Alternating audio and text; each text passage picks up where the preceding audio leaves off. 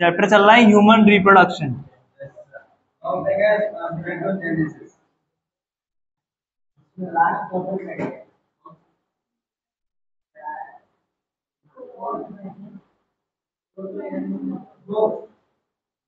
देखो, जिन लोगों ने लास्ट टॉपिक नहीं पढ़ा है स्पर्मेटोजेनेसिस या जो लास्ट टॉपिक पर एबसेंट थे तो वो लेक्चर से कवर ज़रूर कर लेना। जितना भी पीछे छूट गया है, ठीक है? और नहीं आ रहा है समझ में तो सुबह मैं रहूँगा, मेरे से आगे पूछ लेना, ठीक है? नेक्स्ट टॉपिक है आप लोगों का। Hormones responsible for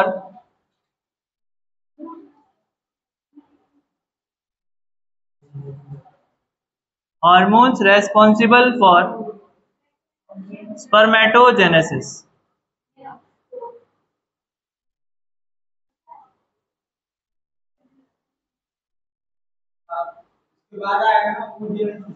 हाँ इसके बाद है अभी स्पर्मेटोजेनेसिस होता क्यों है बॉडी में कोई ना कोई चेंज तो होता होगा। इसीलिए स्पर्मेटोजेनेसिस होता है। ऐसा तो है नहीं कि हमने अपनी बॉडी से कहा कि आज स्पर्मेटोजेनेसिस हो जाओ। हमने अगर आज अपनी बॉडी से कहा कि स्पर्मेटोजेनेसिस हो जाओ तो क्या हो सकता है? हमारी बॉडी में कई दिनों पहले से कुछ चेंजेस आते हैं, तब जाके स्पर्मेटोजेनेसिस स्टार्ट होता है। क्लियर है बात? अब सुनिए ध्यान से। किसी को याद है स्पर्मेटोजेनेसिस पूरा? चलो, शुरू करो। ये रहे स्पर्मेटोगोनिया बताओ, क्या होगा अब? क्या बना? प्राइमरी स्पर्मेटोसाइट ठीक है? माइटोसिस हुआ, क्या हुआ? फिर क्या होगा? मियोसिस वन क्या बनेगा इससे? फ्लॉइडी क्या होगी साइल इसकी? हाँ हैप्लॉइड ये है सेकेंडरी स्पर्मेटोसाइट्स ये तो मुँह जवानी पे रट गया होगा पूरा। अब इसके में क्या होगा? मियोसिस टू से क्या बनते हैं? क्या नाम है इनका? वेरी गुड मियोसिस टू है, इनका नाम है? अच्छा इन्हें इमेच्योर क्यों बोलते हैं? लैक ऑफ़ टेल ऐसे स्पर्म जिनके पास टेल नहीं है, उन्हें कहते हैं स्पर्मेटिड्स ठीक है? फिर बाद में किसमें कन्वर्ट हो जाते हैं? मैच्योर स्पर्म कैसा दिखता है मैच्योर स्पर्म हाँ रॉकेट जैसा। इस प्रोसेस को क्या कहते हैं? स्पर्मियो जेनेसिस स्पर्मेटिड से स्पर्म को बनाने की प्रोसेस का नाम क्या है? स्पर्मियोजेनेसिस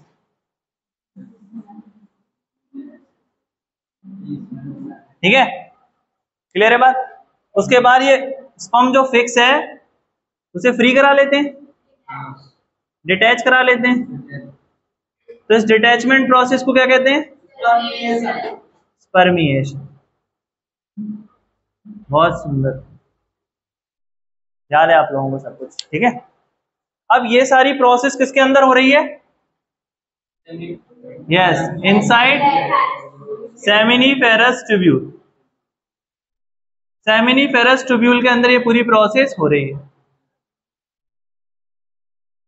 अच्छा ये प्रोसेस अपने आप नहीं होती है। ये प्रोसेस को शुरू करने के लिए हमारी बॉडी में कई सारे चेंजेस आते हैं, ठीक है? Means at the age of puberty जैसे ही आप प्यूबर्टी के एज को टच करते हैं अच्छा बताओ प्यूबर्टी की एज कौन सी होती है? हाँ थर्टीन मेल्स में कितनी होती है? थर्टीन से स्टार्ट हो जाती है नाइनटीन तक। ठीक है? क्लियर है बात? अब सुनो ध्यान से। जो आपका टीन एज लाइफ होता है ना, वही होता है अब सुनो ध्यान से। तो प्यूबर्टी में क्या होता है? हमारे ब्रेन में एक ग्लैंड है। ब्रेन है स्पेशल ग्लैंड अच्छा ग्लैंड का मतलब किस किस को पता है? पहले बताओ, फ़ोन में आ रहा है ये? अरे, फ़ोन में दिख रहा है ये देखो? दिख रहा है?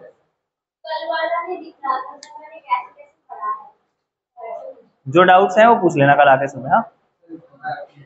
अब मुझे बताओ, जो ग्लैंड्स हैं, उनका मतलब किसी को पता है? बताओ। हाँ जो कुछ सीक्रेट करें, जो कुछ बनाए तो बॉडी के अंदर जो भी बायोकेमिकल्स बनते हैं उनको कहते हैं ग्लैंड ठीक है? मैं लिख देता हूँ पेपर के ऊपर लिख लो आप सभी लोग ग्लैंड एक ग्रुप ऑफ़ टिश्यू है. या फिर ग्रुप ऑफ़ सेल्स कह लो.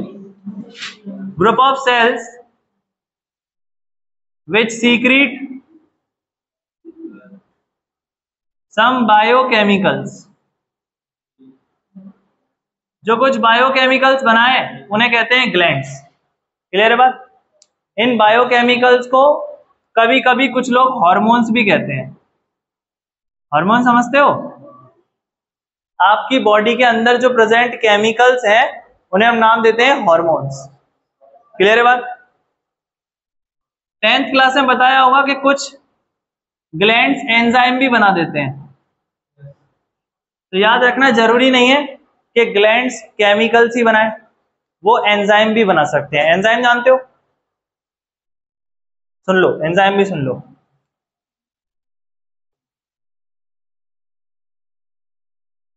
Enzyme is just a protein enzyme क्या है? एंजाइम एक प्रोटीन है। आसान भाषा में समझो। Enzyme is just a protein enzyme जो है बस एक प्रोटीन है। Which affect rate of biochemical reaction कल ही तुमने पढ़ा है रेट का मतलब। है स्पीड केमिकल काइनेटिक्स पढ़ाना? तो केमिकल काइनेटिक्स में सर ने बताया हुआ कि chemical kinetics is the study of rate rate के बारे में पढ़ते हैं हम कि किसी भी केमिकल रिएक्शन को कितना समय लगता है कंप्लीट होने में। यही तो है? आगे ना? तो जो एंजाइम है ना, ये भी रेट को कंट्रोल करता है। क्या करता है? आपकी बॉडी में जो भी बायोकेमिकल रिएक्शन हो रही है, जैसे कि आपका फ़ूड का डाइजेशन ठीक है, जो भी हमने फ़ूड खाया, अब वो फ़ूड कितनी जल्दी डाइजेस्ट होगा, कितनी देर में डाइजेस्ट होगा, ये सब डिपेंड किस पे करेगा? समझ में आया?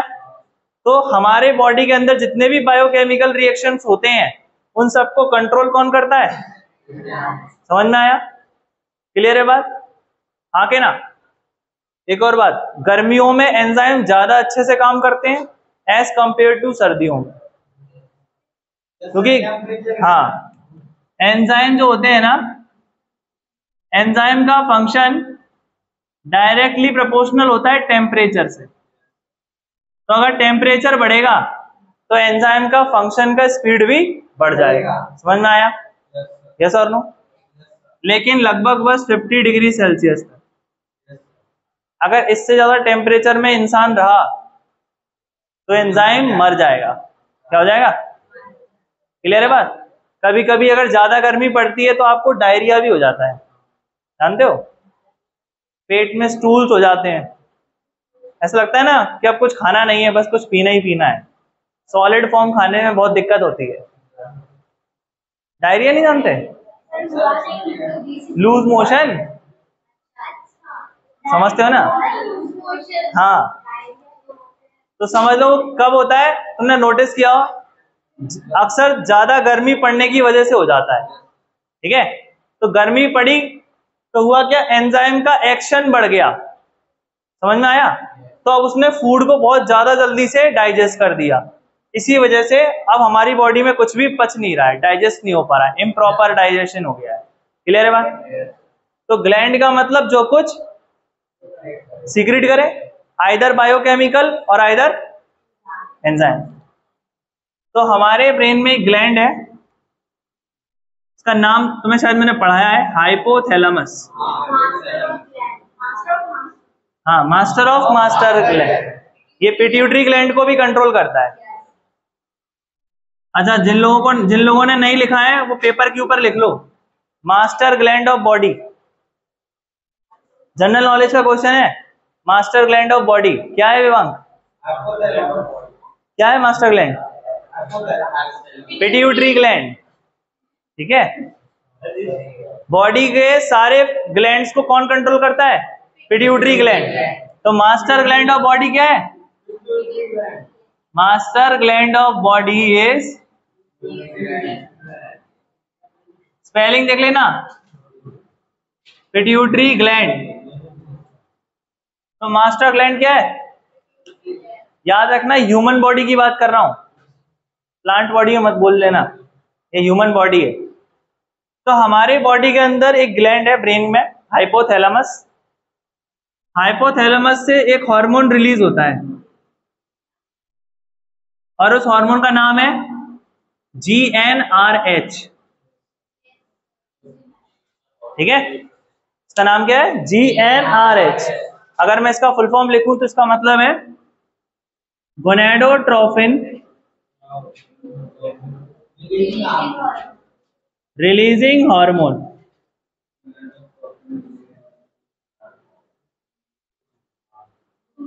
क्या नाम है? गोनेडोट्रोफिन रिलीजिंग हार्मोन तो जब भी मेल्स प्यूबर्टी के एज पर पहुँचते हैं, तभी उनके ब्रेन से एक हार्मोन रिलीज़ होता है। कहाँ से रिलीज़ हो रहा है ब्रेन के? किस पार्ट से? क्या रिलीज़ हो रहा है? गोनेडोट्रोफिन रिलीजिंग हार्मोन क्लियर है बात? अब ये स्ट्यूमुलेट करता है। स्ट्यूमुलेट का मतलब बताओ। हाँ। अब ये आदेश देता है किसको? वेरी गुड पिट्यूटरी ग्लैंड को आदेश देता है। तो ये पिट्यूटरी ग्लैंड रिलीज़ करता है दो हॉर्मोन्स को। हाँ वेरी नाइस जीएनआरएच ने पिट्यूटरी को स्टिमुलेट किया। स्टिमुलेट मतलब ऑर्डर्स देना। तो इस हार्मोन ने पिट्यूटरी को ऑर्डर्स दिया कि आप दो हार्मोन्स निकालो। एक का नाम है एलएच एक का नाम है एफएसएच दोनों के फुल फॉर्म यहाँ लिख देता हूँ। एलएच का मतलब है ल्यूटिनाइजिंग हार्मोन इसमें आ रहा है?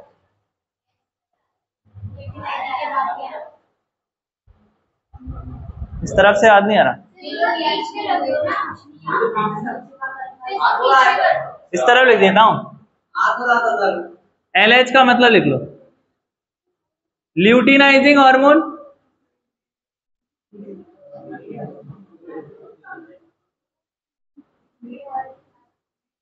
और एफ़ एस एच का मतलब? हाँ? किसमें? वाई सेक्सुअल फिर से बोलो। ए सेक्सुअल पूछ रहे हो क्या?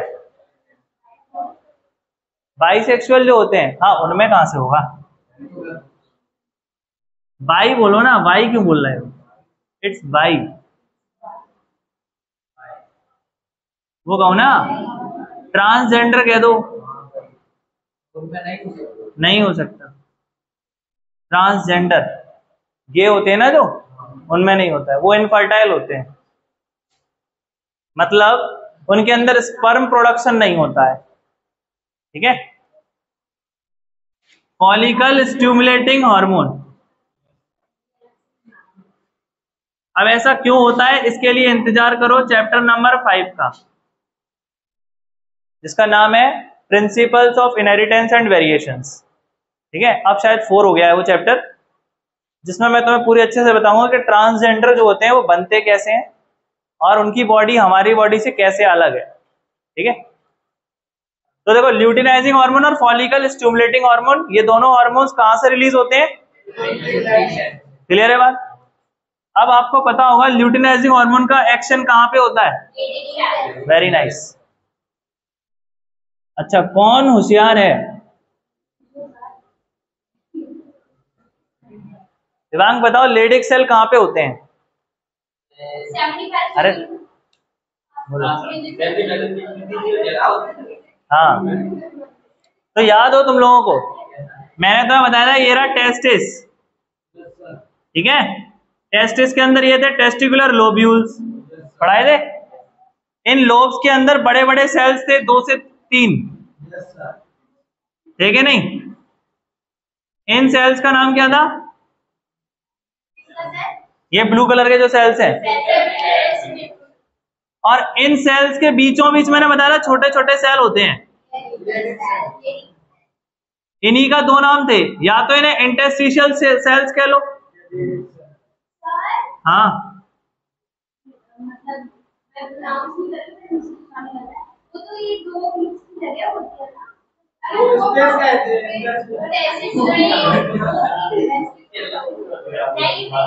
देखो जो जहाँ पे रहता है उसके हिसाब से नाम है ठीक है? जैसे कोई पहाड़ों पे रहता है तो हम कहते हैं वो पहाड़ी लोग। कहते हैं पहाड़ पे रहने वाले पहाड़ी लोग। कहते हैं कि नहीं? ऐसे ही इंटेस्टिशियल स्पेस में जो सेल रहती हैं इंटेस्टिशियल सेल्स है कि नहीं? उनके लोकेशन के हिसाब से उनका नाम दिया गया है। समझ में आया? तो ये रहे लेडिक सेल्स क्या है? कहा इनका कहाँ पर प्रेजेंट है टेस्टिस के अंदर है। सेमिनिफेरस ट्यूब्यूल्स के बीच में क्लियर है बात? तो ल्यूटिनाइजिंग हार्मोन किस पर फ़ंक्शन करेंगे? क्लियर है बात? आज तक तुम्हें बस ये पता है फ़ंक्शन करेंगे। फ़ंक्शन से निकाल, क्या, काम क्या करवाते हैं? यस वेरी गुड तो मैंने ऐसे पूछ लिया। ये इनको स्टिमुलेट करते हैं और क्या बोलते हैं? कि आप रिलीज़ करो। रिलीज़ एंड्रोजन क्या रिलीज़ करो? एंड्रोजन है मेल सेक्स हार्मोन क्या है? मेल सेक्स हार्मोन हाँ।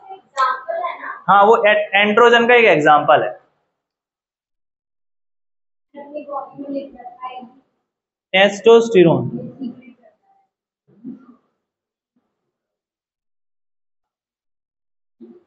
जो लोग जिम जाते हैं, उन्हें टेस्टोस्टेरोन के बारे में अच्छे से पता है। ठीक है? तो मतलब जो नहीं जाते, उन्हें नहीं पता हुआ लेकिन जिम वाले लोग इसका यूज़ बहुत करते हैं। क्योंकि तो मसल्स की जो ग्रोथ है, वो टेस्टोस्टेरोन हार्मोन से ही होती है। आपकी बॉडी में जितना ज़्यादा टेस्टोस्टेरोन हार्मोन होगा, उतने ही मसल फाइबर ज़्यादा होंगे। समझ में आया?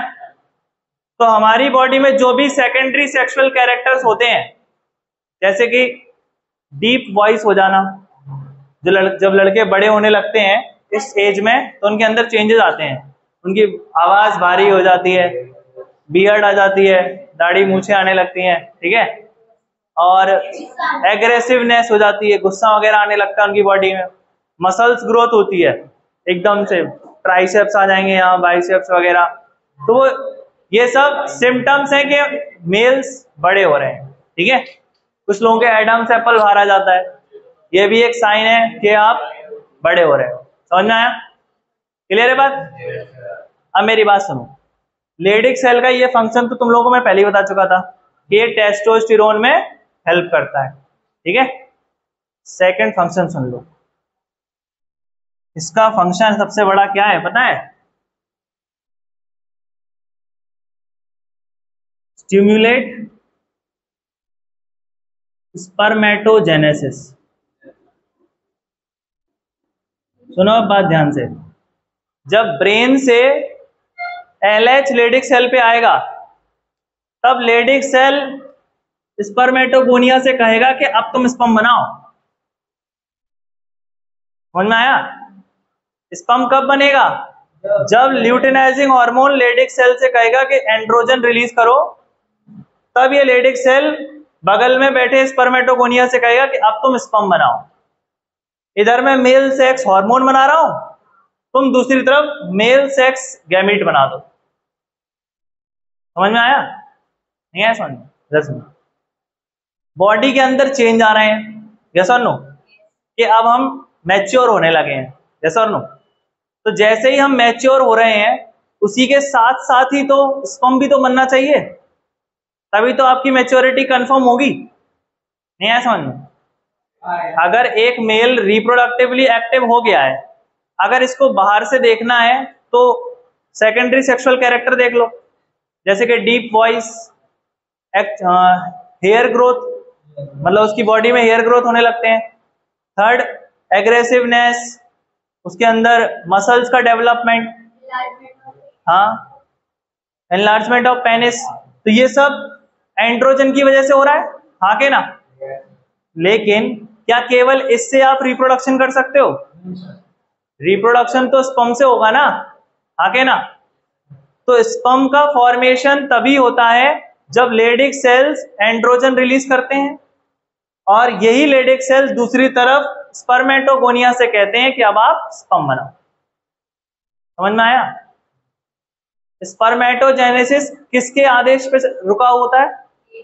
लेडिक सेल कि लेडिक सेल्स के पास जब एल एच हार्मोन आएगा तब जाके मैं स्पर्मेटोजेनेसिस शुरू करूँगा। समझ में आया? तो अगर हमने ल्यूटिनाइजिंग हार्मोन रिलीज़ कराना बंद कर दिया अपनी बॉडी में तो कभी ये प्रोसेस हो पाएगी? बस। तो जो ट्रांसजेंडर होते हैं ना सुन लो ध्यान से अनुज। ट्रांसजेंडर के अंदर ल्यूटिनाइजिंग हार्मोन रिलीज़ नहीं होता है। तो कभी भी स्पम बन पाएगा क्या? एक दिन में कितना बताया तो था मैंने।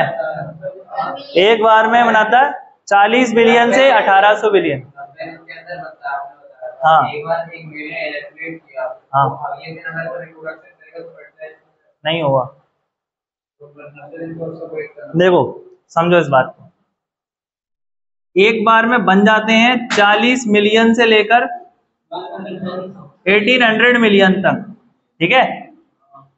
और जब एक बार मेल एजैक्यूलेट करता है, जब बाहर निकालता है अपने स्पम को तो निकलते हैं 30 मिलियन से लेकर 120 मिलियन मतलब इसमें से कुछ अमाउंट बचा रहता है। तो एक बार में ज़्यादा से ज़्यादा चार से पाँच बार स्पम को बाहर निकाल सकता है। उसके बाद उसे 90 डेज़ का वेट करना होगा। क्योंकि क्या होता है ना, अक्सर कुछ लोग महीने में 30-30 बार स्पम रिलीज़ करने की कोशिश करते हैं इजैक्यूलेट करते हैं। ये कोई गलत नहीं है, ये सही चीज़ है। जो लोग कर रहे हैं ना, उनके लिए समझा रहा हूँ मैं आप इस चीज़ को समझो। डिटेल में समझो, इसमें कोई हंसने वाली बात ही नहीं है। ये आपके आगे की लाइफ के लिए इंपॉर्टेंट है। तो आप समझो पूरा बायोलॉजी है, पूरा साइंस है। हमारी बॉडी बना इतना रही है, ठीक है? मैंने तुम्हें यह भी बताया होगा कि जो तुम खाते हो ना, उसका वन बाय टेन पार्ट ही स्पम प्रोडक्शन में यूज़ होता है। मतलब तुम एक रोटी खा रहे हो अगर पूरे दिन में तो उसका वन बाय टेंथ पार्ट सिर्फ़ उससे ही स्पम बन पाएगा बस, ठीक है? तो मैंने तुम्हें बताया होगा कि लगभग 90 डेज़ लगते हैं। कितने दिन? तीन मंथ तीन मंथ लगते हैं, तब जाके पूरा स्पर्मेटोजेनेसिस कंप्लीट होता है एक बार। एक स्पर्मेटोजेनेसिस को कंप्लीट होने में लगभग 90 दिन लग जाते हैं पूरे। कितने लग जाते हैं? तब जाके इतना स्पम बन पाता है। 40 मिलियन से लेकर 1800 मिलियन। ठीक है? डिपेंड करता है कि आप क्या खाते हो। कुछ लोग हैवी डाइट खाते हैं तो उनके अंदर ज़्यादा स्पम बन जाता है। कुछ सिर्फ़ रोटी सब्ज़ी खा रहे हैं तो उनके अंदर इतना नहीं बन पाता है। ठीक है? तो it depends on your diet ठीक है? समझ में आया? अब मेरी बात सुनो। अगर इतना ही स्पम बनता है और कोई पर्सन मंथ में तीस बार कोशिश करता है स्पम को इजैकुलेट करने के लिए तो याद रखना स्पम तो सिर्फ़ चार से पाँच बार ही निकलेगा। ये मैंने बताया भी था। इसके बाद सिर्फ़ सेमिनल फ्लूड निकलता है। नहीं। सिर्फ़ सेमिनल फ्लूड याद है सेमिनल फ्लूड क्या है सेमिनल फ्लूड हाँ। सेमिनल फ्लूड सीक्रीशन होता है। सीक्रीशन ऑफ़ आराम से। Secretion of prostate and seminal vesicle gland. मैंने तुम्हें पढ़ाया था, सुनो ध्यान से। मेल रिप्रोडक्टिव सिस्टम में दो ग्लैंड्स थे प्रोस्टेट ग्लैंड और सेमिनल वेसाइकल ग्लैंड ये दोनों भी कुछ सीक्रेट करते हैं।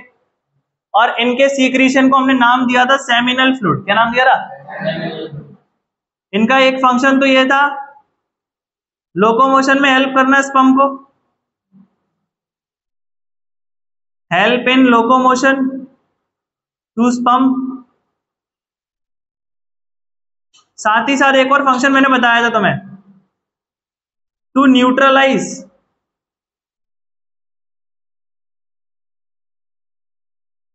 यूरेथ्रा अगर तुमको याद हो तो मैंने बताया था।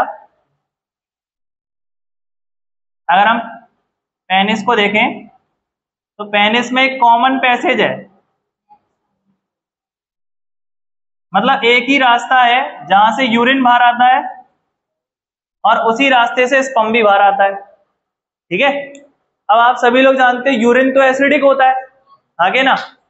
अगर उसी एसिड की वजह से उसी रास्ते से अगर स्पम निकला तो उस एसिड से स्पम डैमेज हो जाएगा।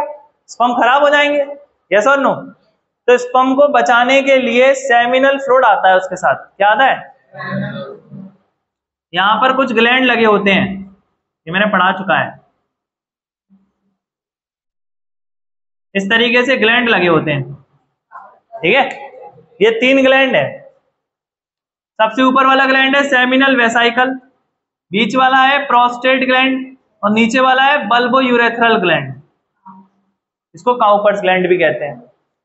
अब जिन लोगों ने ये टॉपिक नहीं पढ़े हैं, वो कृपया करके लेक्चर नंबर थ्री ज़रूर देखना। ठीक है? कल सुबह आके लेक्चर नंबर थ्री ज़रूर लेना। उसमें ये सारी बातें मैंने डिटेल में समझाई हैं कि ये तीनों ग्लैंड मिलकर एक सीक्रीशन बनाते हैं, ठीक है? एक मिल्की फ्लूड बनाते हैं। मतलब अगर किसी ने स्पम को देखा है, कभी इमेज वगैरह में देखना तो स्पम जैसा कि जब बाहर आता है बॉडी से तो व्हाइट कलर का एक फ्लूड होता है बस लिक्विड होता है। लेकिन मैं तुमको क्या पढ़ा रहा हूँ कि स्पम तो ऐसे होते हैं। स्पम तो ऐसे रॉकेट की तरह होते हैं ना यस और नो लेकिन जब वो बॉडी से बाहर आता है तो हमें रॉकेट जैसा तो कुछ दिखता नहीं है। दिखता है क्या? नहीं दिखता है। तो एक्चुअली में क्या होता है? ये एक फ्लूड होता है जिसके अंदर छोटे छोटे रॉकेट्स प्रेजेंट होते हैं।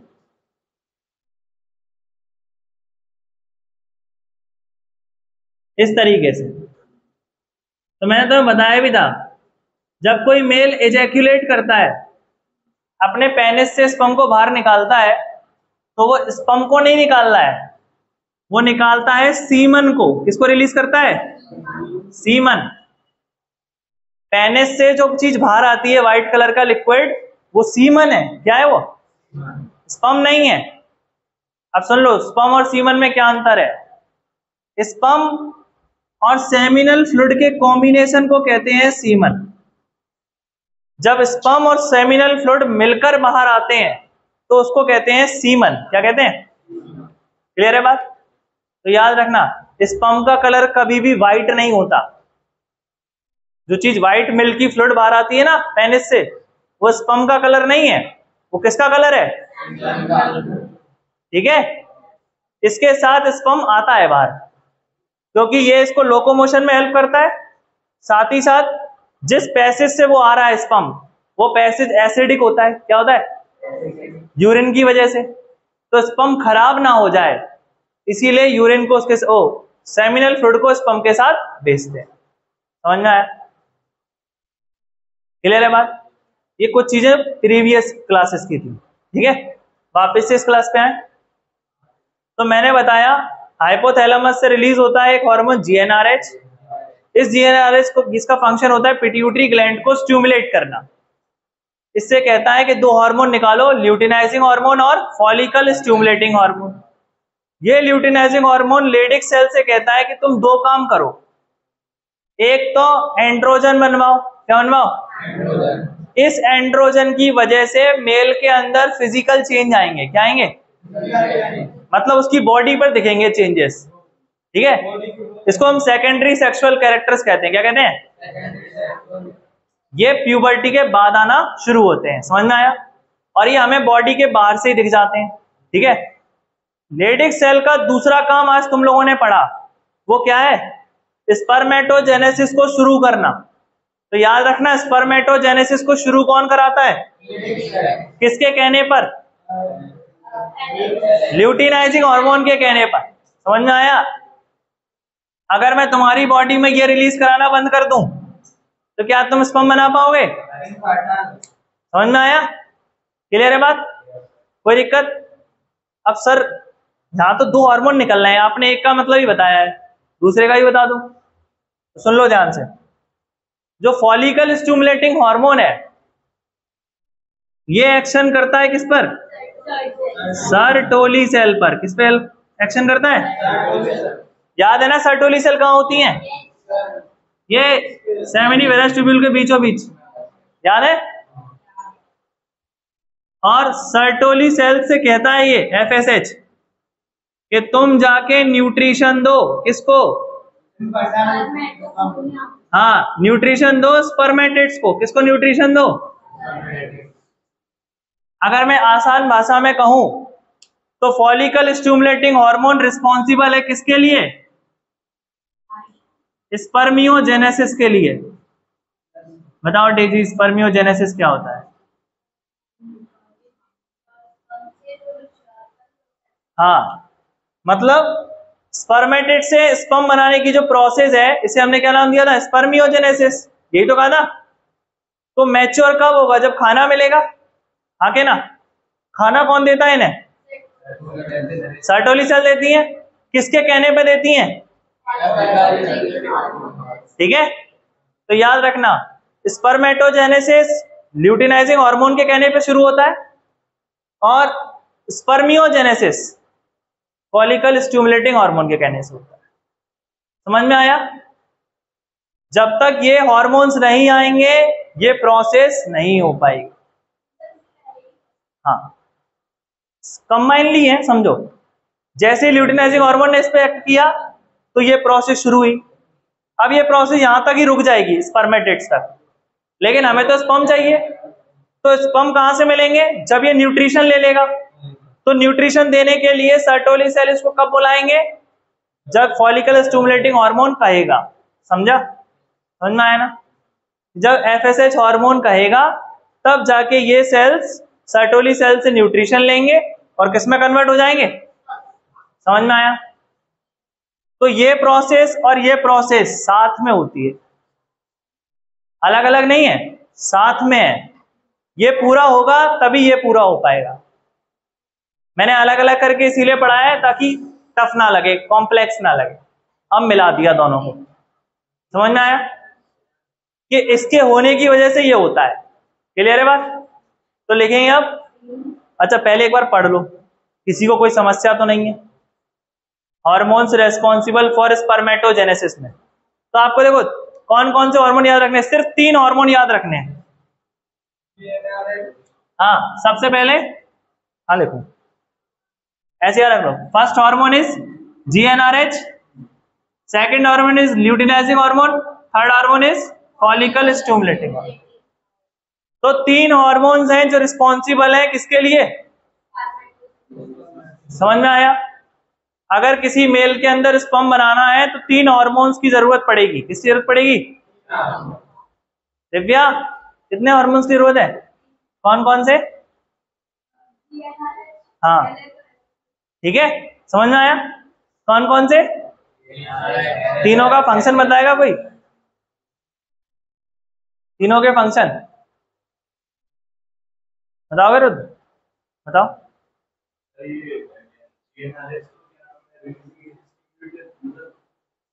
शुरू से बताओ, जी आर एच कहाँ से रिलीज़ हुआ? किस पर एक्ट करेगा? पिट्यूटरी पे करेगा। उससे क्या कहेगा? कौन कौन से? ल्यूटिनाइजिंग हार्मोन का काम क्या है? हाँ स्टिमुलेट करना। उससे क्या होगा? मेल सेक्स हार्मोन बनेंगे। मेल सेक्स हार्मोन का काम क्या है? सेकेंडरी सेक्सुअल कैरेक्टर बनाना। हमारी बॉडी में जो फ़िज़िकल कैरेक्टर्स है ना, दाढ़ी, मूछ वगैरह, ये सब आ जाना तो वो किसकी वजह से होता है? हेयर ग्रोथ जो होती है बॉडी के अंदर, वो किसकी वजह से होती है? ठीक है, और दूसरा?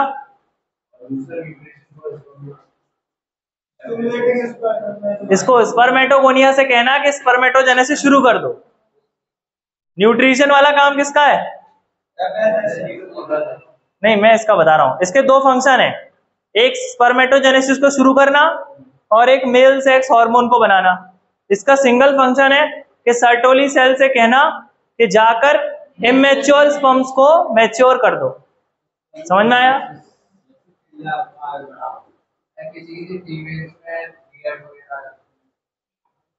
हाँ आ जाते हैं। वो भी इंक्रीजिंग मैंने बताया था, अगर फीमेल करने लगे सिगरेट वगैरह ड्रग्स वगैरह लेने लगे तो उनकी बॉडी में भी टेस्टोस्टेरोन हार्मोन रिलीज़ होने लगता है। तो उनको गुस्सा ही बहुत आएगा। देखें कभी गाँव में। बढ़िया गुस्सा आता है उनको मस्त। ठीक है? समझ में आया? चले लिखें इसके बारे में? चलिए लिखो। फिर हमें स्पम पढ़ना है स्पम का पूरा डायग्राम वगैरह देखना है। ये देखो इस तरीके से लिखना चाहते हो क्या? कि मैं लिखवाऊं? मेरे को भी ये इजी लगता है। बताओ। चलो लिख लो लिख लो। हार्मोन्स लिख लो रिस्पॉन्सिबल तो लिखो first spermatogenesis starts during puberty अब लिखवाने से ये है कि फिर तुम्हें आइडिया मिल जाता है पेपर में कैसे लिखना है। स्पर्मेटोजेनेसिस स्टार्ट्स ड्यूरिंग प्यूबर्टी कब शुरू होता है? Puberty by by increase in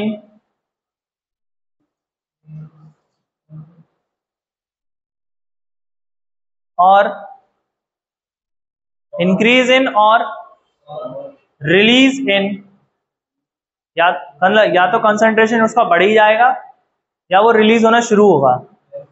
release in concentration of अच्छा कंसंट्रेशन तुम सॉल्यूशन में पढ़ते हुए आ रहे हो अभी तक।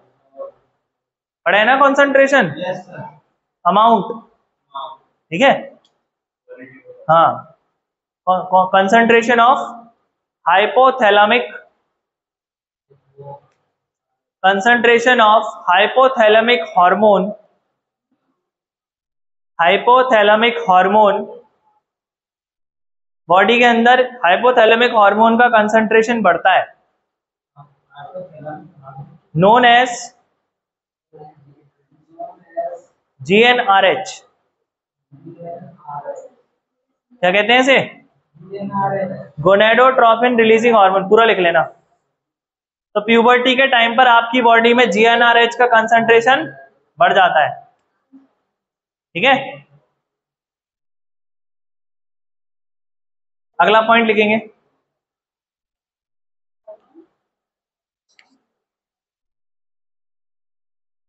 नेक्स्ट बोलू? This GnRH hormone this GnRH hormone acts on किसके ऊपर एक्ट करेगा ये खुशी acts on pituitary gland acts on pituitary gland to release और क्या रिलीज़ करवाएगा एल एस एच क्या है? सिर्फ़ एल एच है बेटा। एल एच एस तो स्कूल है। Acts on acts on pituitary to release two different hormones to release two different hormones that is I dot E that is luteinizing hormone and follicle stimulating hormone ये लिखा है, पूरा नाम लिखना L H और F S H luteinizing hormone and follicle stimulating hormone ये लिखा है.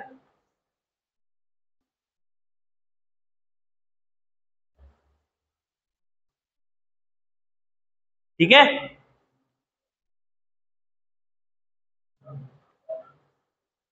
थर्ड पॉइंट थर्ड पॉइंट में लिखना। L H simple L H लिख लो। समझ गए ना अब एल एच का मतलब क्या है? L H act on L H किस पर एक्ट करेगा? L H act on Leydig cells L H act on Leydig cells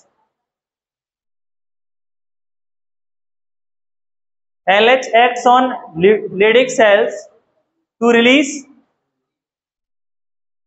to release androgen to release release not release androgen androgen हाँ नहीं नहीं नहीं एंड्रोजन एक क्लास है मतलब मेल सेक्स हार्मोन के कई सारे नाम है अलग अलग उनमें से एक एग्जांपल है टेस्टोस्टेरोन मतलब ये इसका एक एग्ज़ाम्पल है। ऐ समझो। एनिमल एक क्लास है, समझो। अब एनिमल्स के अंदर कई सारे लोग आते हैं ना। कुछ लोग दो पैरों से चलते हैं, कुछ लोग चार पैरों से चलते हैं। है कि नहीं? अब हम भी एक एनिमल ही तो है। जैसा नो और लायन भी एक एनिमल है। लेकिन हम में थोड़ा सा डिफरेंस है। ठीक है?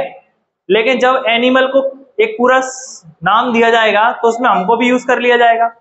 ऐसे ही एंड्रोजन भी एक क्लास है जिसके अंदर मेल के कई सारे हॉर्मोन्स आते हैं। हमें पढ़ना है सिर्फ़ टेस्टोस्टेरोन ठीक है? तो androgen is a class of male sex hormone और उसका एग्जांपल है टेस्टोस्टेरोन समझ में आया? क्लियर है बात? हाँ और भी होते हैं। अब मेरी बात सुना, ऐसे समझ लो। क्या? होता है लेकिन बहुत कम होता है। एक्चुअली में क्या होता है ना बढ़ भी सकता है, ये मैंने बताया भी था लोगों को। शुरुआती क्लासेस में, अगर आपकी बॉडी में एस्ट्रोजन बढ़ाना है तो मिल्क प्रोडक्ट्स ज़्यादा खाने लगो। ज़्यादा मिल्क पियो, ज़्यादा दही खाओ, पनीर खाओ हाँ ये सब चीज़ें खाओ।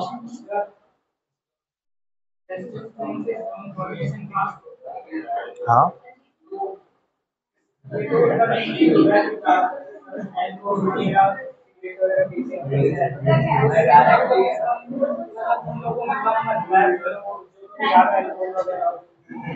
एक लेवल से ज़्यादा कुछ खाओगे, पियोगे तो नुकसान ही होगा ना। वो तो टॉक्सिक है। है क्या नहीं? तो उससे क्या होता है मेड्यूला ऑब्लिंगाटा जो है ना, वो बॉडी को कंट्रोल में नहीं रखता है। फिर आपकी बॉडी एक्सेसिव काम करने लगती है। तो स्पम का ऑटोमेटिक रिलीज़ होने लगता है। आपकी बॉडी में स्पम स्टोर नहीं हो पाता है। समझ में आया? तो सुनो एस्ट्रोजन बॉडी के अंदर बढ़ जाता है अगर हम डेयरी प्रोडक्ट्स को ज़्यादा यूज़ करने लगे, ठीक है? तो इससे एक बीमारी भी हो जाती है गायनेकोमेस्टिया ठीक है? हाँ चेस डिसीज होती है। जिम वालों को ये सब पता है गायनेकोमेस्टिया ठीक है? नहीं, तुम नहीं हो। अगर जब भी जाओ ना तो जिम वाले सारी चीज़ें बताते हैं तुम्हें, ये इतना खाना, ये उतना मत खाना, इससे ये हो जाएगा इससे हो जाएगा। तो वो गायनेकोमेस्टिया क्या एक कंडीशन है, जिसमें क्या होता है, जो हमारे अंदर जो ब्रेस्ट है, जो अनडेवलप्ड है, लेकिन ज़्यादा खाने से वो डेवलपमेंट दिखने लगते हैं, बाहर से लटकने लगते हैं, बाहर से दिखने लगते हैं। तो वो हाँ थोड़े से गायनेकोमेस्टिया में ठीक है? समझ में अरे, हंसना है क्या उसमें? पढ़ रहे हो ना तुम भाई हाँ समझ गया मैं। बस बस, समझ गया, छोड़ रहे चलो चलो, ठीक है। ये हो गया? क्या लिखा मैंने? Release androgen release androgen bracket में लिखना मेल सेक्स हार्मोन एंड्रोजन के ब्रैकेट में लिखना मेल सेक्स हार्मोन आज का वीडियो बिल्कुल अच्छा बनेगा। कोई वॉइस वॉइस करेक्ट नहीं होगी इसमें। ठीक है? ठीक है? और एग्ज़ाम्पल लिख लेना टेस्टोस्टेरोन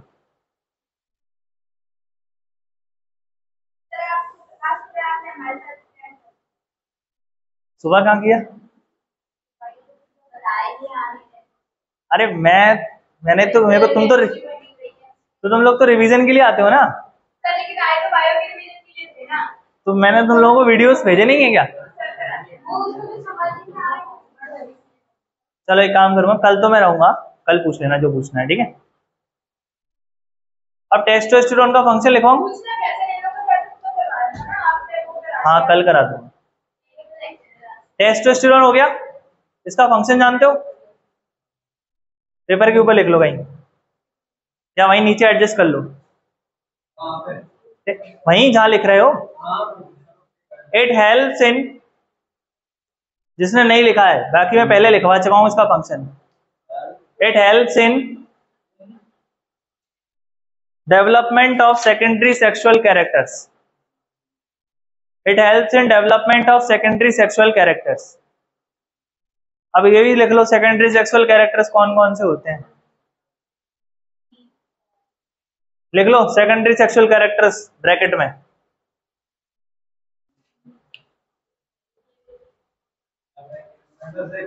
सेक्सुअल कैरेक्टर्स क्या क्या होते हैं? लिख लो। हैवी और डीप वॉइस भारी आवाज़ हो जाती है। मेरी आवाज़ तो अभी भी हल्की है। हैवी और डीप वॉइस अगला लिख लो। Excessive hair growth excessive hair growth excessive hair growth on body एक और लिख लो. Enlargement of penis enlargement of penis इसके बाद लिख लेना. इंक्रीजेस एग्रेसिवनेस इंक्रीजेस एग्रेसिवनेस ज़्यादा टेस्टोस्टेरोन से गुस्सा ही बहुत आता है। ठीक है?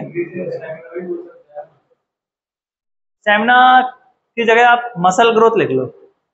Increase in muscle fibres increase in muscle fibres muscle fibres बढ़ जाते हैं। इंक्रीज इन मसल फाइबर्स ठीक है? एक और फ़ंक्शन है, इसका लेडिक सेल्स का। लिखो हाँ नेक्स्ट पॉइंट में लिखना another function of Leydig cell is another function of Leydig cell is another function of Leydig cell is to stimulate spermatogenesis to stimulate spermatogenesis to stimulate the spermatogenesis. Spermatogenesis को शुरू कौन कराता है? किसके कहने पर? अरे, इसके कहने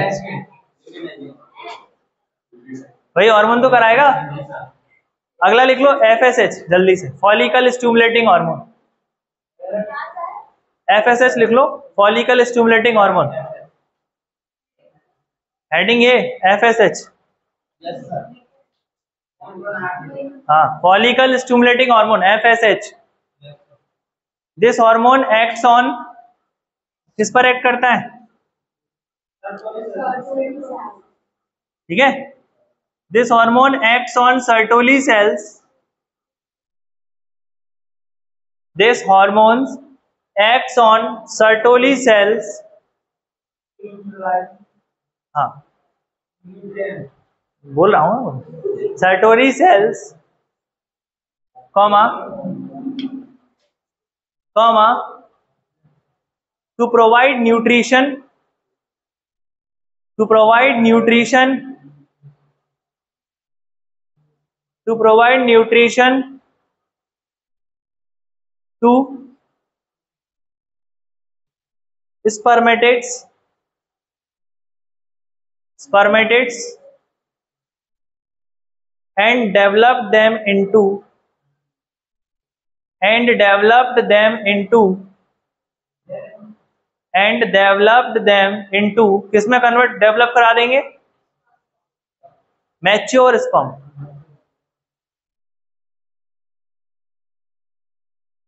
mature sperm note point लिखना? इसी के नीचे नोट पॉइंट लिख लो। FSH helps in spermiogenesis. FSH help in spermiogenesis. किसमें हेल्प करते हैं? स्पर्मियोजेनेसिस समझना है? क्या है स्पर्मियोजेनेसिस स्पर्मेटिड से स्पर्म में कन्वर्ट हो जाना इसको कहते हैं स्पर्मियोजेनेसिस ठीक है? कौन हेल्प करता है? फॉलिकल स्टिमुलेटिंग हार्मोन अब बताओ मुझे ये पूरा क्लियर है? ये पूरी प्रोसेस स्पर्मेटोजेनेसिस किस किस हार्मोन की वजह से कौन कौन सा स्टेप आता है? क्लियर है? बेसिकली तीन ही हार्मोन हाँ बोलो। स्पर्मेटोगोनिया स्पर्मेटोगोनिया ये होते हैं। स्पर्मेटोगोनिया का मतलब है मेल जर्म सेल जहाँ से स्पम बनना शुरू होता है। उन सेल्स को स्पर्मेटोगोनिया कहते हैं। ठीक है? समझना है? क्लियर नेक्स्ट हेडिंग बना लो। या इस तरीके से जिसको लिखना है वो लिख भी लो। इस तरीके से लिखना है, लिख लो। ज़्यादा फ़ायदे में रहते हैं, ऐसे लिखे हुए फिर लास्ट में मैं पूरा चैप्टर तो कंक्लूड करूँगा ही, एक पूरे पेज पर। अब लिखना पड़ेगा, अभी नहीं लिखोगे तो। लास्ट में तुम्हारा इतना बड़ा चैप्टर होता जा रहा है, उसको एक जगह पे तो चाहिए ना तुम्हें?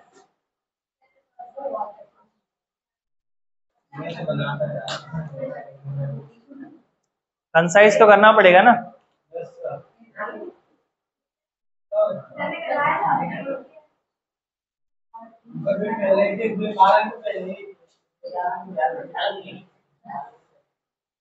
सिर्फ़ इतना इतना लिख लो।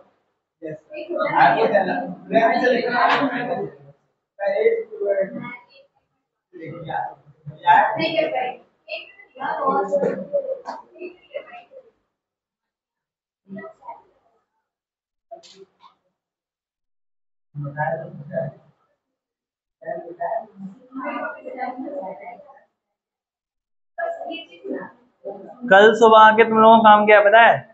थर्ड चैप्टर खत्म करो मतलब थर्ड लेक्चर शुरू से पढ़ना तुम तो फ़र्स्ट लेक्चर से पढ़ो। तुमसे नहीं कह रहा इन लोगों से कह रहा हूँ जिनने नहीं किया है। तुम आना है तुम्हें आना है सुबह। सुबह आना है? ह्यूमन रिप्रोडक्शन भी तो पढ़ना है? नहीं नहीं छोड़ो मत। उसको भी पढ़ेंगे। दस से ग्यारह बारह बजे तक आओगे ना? एक घंटा पहले वो पढ़ना। सेक्सुअल रिप्रोडक्शन कितना बचा है? अच्छा फ़र्स्ट चैप्टर कितनों का कंप्लीट हो गया। तुम्हारा लास्ट लेक्चर बचा है। नए लोगों को बतलाऊं जो लोग न्यू एडमिशन है। फ़र्स्ट चैप्टर नहीं हुआ? खत्म। तीन? बस बस तीन ही है। तीन ही लेक्चर्स हैं।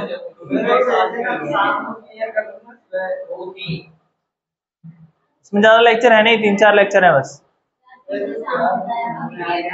ये चैप्टर बड़ा है चीज़ों से समझने के लिए। अच्छा एक काम कर लो, पहले फ़र्स्ट चैप्टर खत्म कर लो, सभी लोग। इन लोगों का रिटेस्ट हो जाएगा, तुम्हारा टेस्ट हो जाएगा। संडे को। सुबह? ही चलो पहले कंप्लीट तो करो फिर मैं डिसाइड करूँगा। मतलब ये संडे नहीं इसके बाद वाला जो संडे आएगा। पिछले संडे को?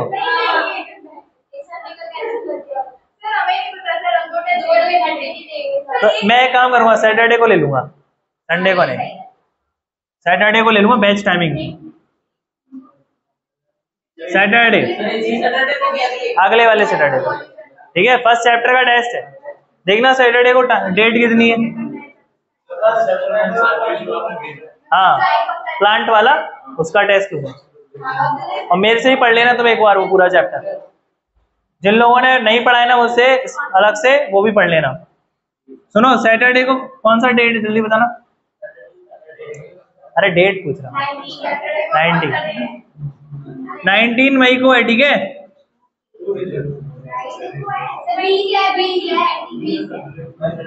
एक डेट बोलो। Twenty May. ठीक है?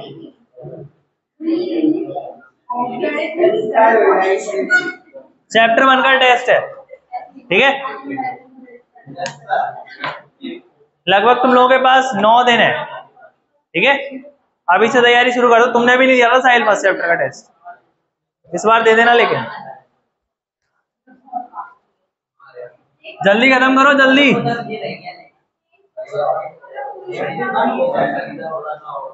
बात है चौबीस घंटे। दिखाना क्या क्या पढ़ लिया। दिखाना देगा नोट्स ये नोट्स है कि वो नोट्स है? रफ से घर पे फेयर होती है।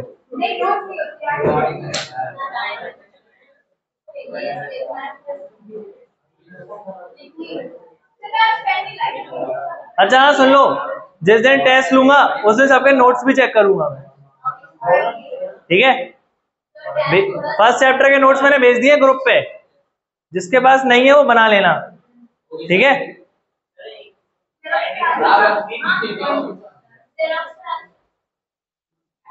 जेरोक्स कराना चाहते जेरोक्स करा लो।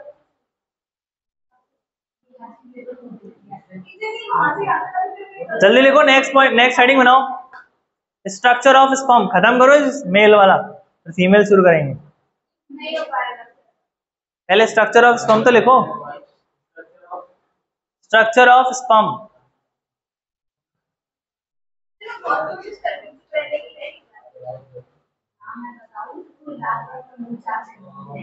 स्पम लिखो sperm structure of sperm structure of sperm में लिखो। Sperm is compose of sperm is compose of a sperm is compose of head head head head नहीं होता सिर्फ़ हाँ। Head, comma, neck. Comma, middle piece. Neck. नहीं अलग अलग है। हाँ तो पहले हेड फिर नेक फिर middle piece head neck middle piece हाँ लास्ट में लिखना टेल हेड नेक और लास्ट में टेल तो स्पम के चार हिस्से हैं, ठीक है? माइक्रोस्कोप से देखेंगे तो दिखता है।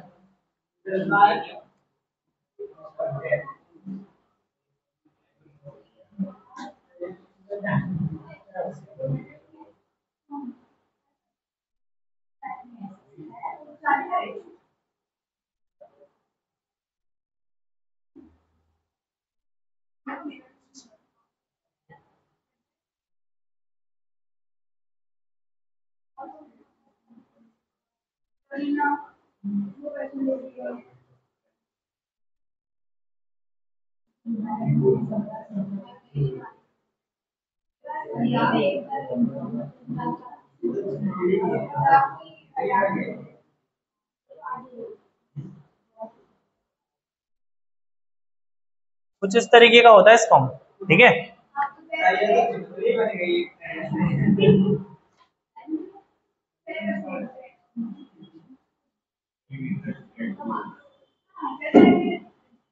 बेलेनाग्लोसिस सुना है तुमने? बेलेनाग्लोसिस हाँ एनिमल किंगडम में पढ़ाया होगा एकाइनोडर्मेटा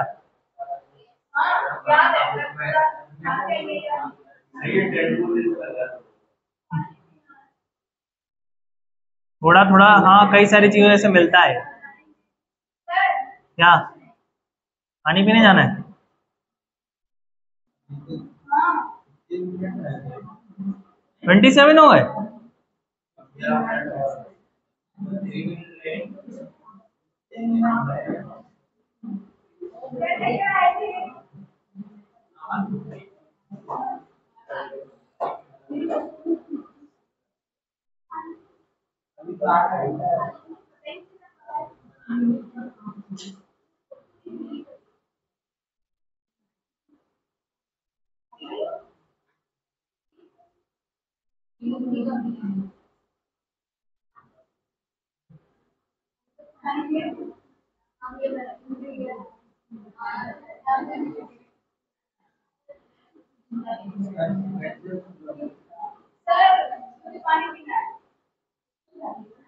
चले जाओ नीचे।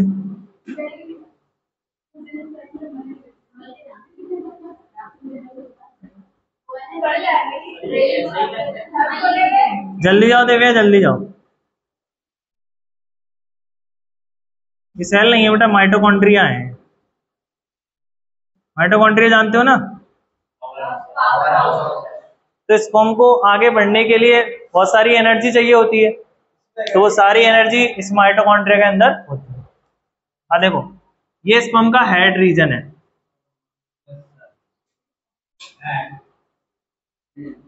और ये देख रहा है बीच में, छोटा सा स्ट्रक्चर ये नेक है।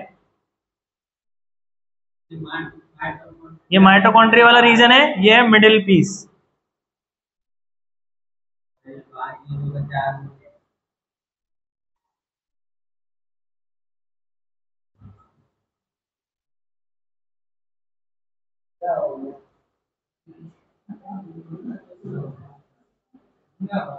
पीस की स्पेलिंग सही है?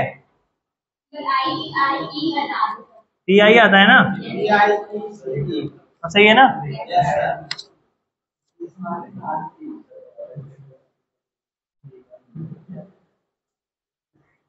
टेल ठीक है?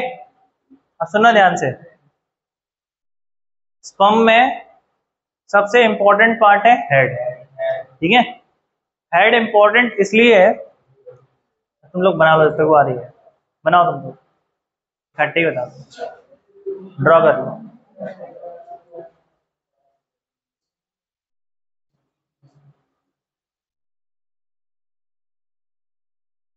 जल्दी आओ, जल्दी जल्दी।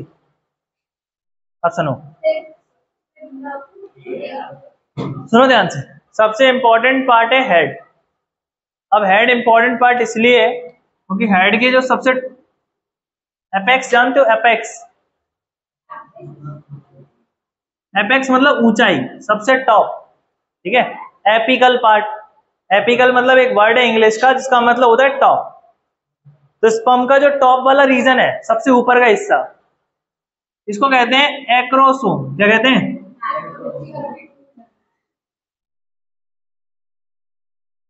सुन लो ध्यान से। स्पम का जो टिप वाला पोर्शन होता है, इसका नाम होता है एक्रोसोम ठीक है?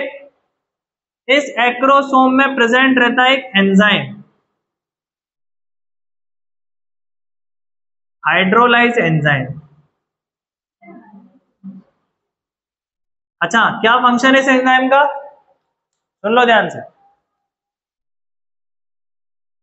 टू पेनेट्रेट और degrade ova walls and help sperm to move inside ova चलो ध्यान से। जो ओवा होता है, इसके आसपास कई सारी वॉल्स प्रेजेंट होती हैं। जोना पेलुसिडा कोरोना रेडिएटा, अभी हम सब पढ़ाएँगे तुम्हें, ठीक है? ओवा जो एग होता है ना फीमेल का, उसके आसपास कई सारी सेल्स प्रेजेंट रहती हैं वॉल्स सबसे बाहर वाली वॉल का नाम है जोना सीडा। ठीक है? उसके अंदर वाली वॉल्स का नाम है कोरोना रेडिएटा। हाँ। तो अब क्या होगा? स्पम जब आता है ना तो ये वॉल्स उसको रोकने की कोशिश करती हैं। ठीक है? हाँ डेड सेल होती है। ये इसको रोकने की कोशिश करती हैं।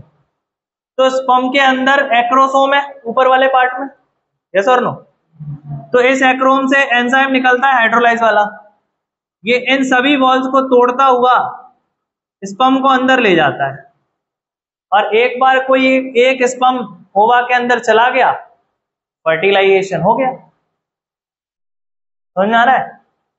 नहीं है समझ क्या है? स्पम और ओवा को मिलने, मिलकर बीच में कई सारी दीवारें हैं। अब इन दीवालों को हटाने के लिए कोई एक ताकतवर इंसान चाहिए। है क्या नहीं? तो वो कौन है? एक्रोसोम कौन है? समझ में आया? ये एक्रोसोम क्या करता है? इन दीवालों को तोड़ देता है और स्पम से कहता है कि ला जी ले अपनी ज़िंदगी। ठीक है? तो याद रखना मिलियंस ऑफ़ स्पम में किसी एक स्पम को ये मौका मिलता है। ठीक है? समझ में आया? पेनेट्रेट का मतलब होता है किसी से टकराना। हाँ ड्रिल करना एक तरीके से।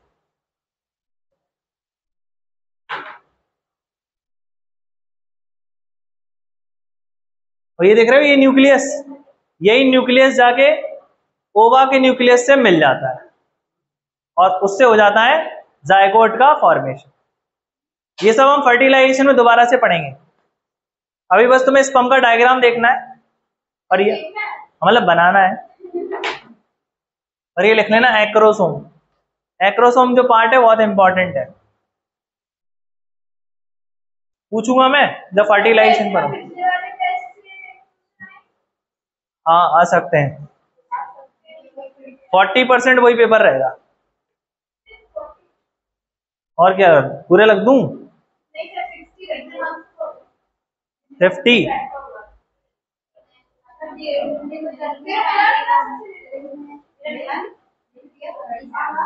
अच्छा सुन लो सैटरडे की टाइमिंग जिस दिन टेस्ट होगा ना, उस दिन टाइमिंग साढ़े तीन से है।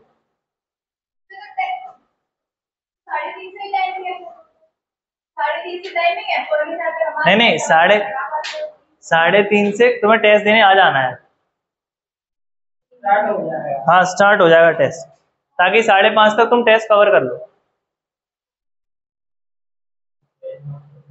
ठीक है? बना लिया इसको हम सभी ने?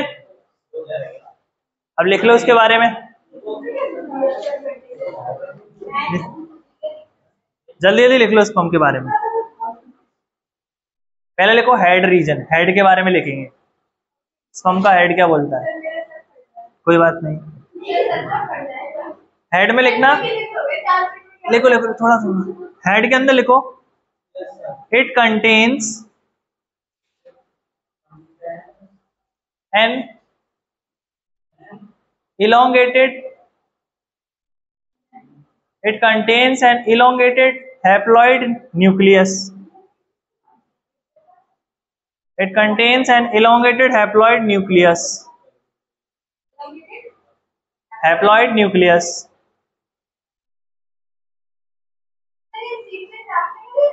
Comma जो पहले आया, उसको पहले मिल मैं क्या कह सकता हूँ? अरे, ठीक है। लड़ो मत। तुम भी पहले आ जाना, तुम ले लेना। मैं किसी को कुछ कहता नहीं सकता हूँ। कॉमा लगा के लिखना। The apical portion of sperm the apical portion apical मतलब ये ऊपर वाला। सुन लो मेरी बात। इंग्लिश का वर्ड है एपिकल बायो में नहीं आता है। जब भी एपिकल वर्ड का इस्तेमाल होगा तो ऊपर की बात कर रहे हैं टिप पर। The apical portion of sperm इस बहाने जल्दी तो आओगे। The apical portion of sperm which covered by the apical portion of sperm which covered by a cap like structure. A cap like structure. ऐसा लग रहा है टोपी रख दी हो ऊपर। ऐसा है क्या? महाराज पुराने जमाने में वो राजा लोग पहनते थे? हाँ। मुकुट टाइप का? वैसा ही रख दिया? देखा क्या? हाँ? वो थॉर्न होता है थॉर्न थॉर्न होता है। हाँ। क्या हो गया? गलती कहाँ है? हाँ। ठीक है तो सुनो। बात सुनो। इसको लिखो तो cap like structure called acrosome इसको क्या कहते हैं? Acrosome acrosome. नोट पॉइंट लिख लो इसके अंदर। इस एक्रोसोम का फ़ंक्शन क्या है? अच्छा ये लिख लिया है क्या तुम लोगों ने? जिसने नहीं लिखा और नोट पॉइंट लिख लो। नहीं नहीं the acrosome is filled with enzymes the acrosome is filled with enzyme इसके अंदर एंजाइम्स भरे हुए हैं। The acrosome is filled with enzyme which help in help in fertilization which help in fertilization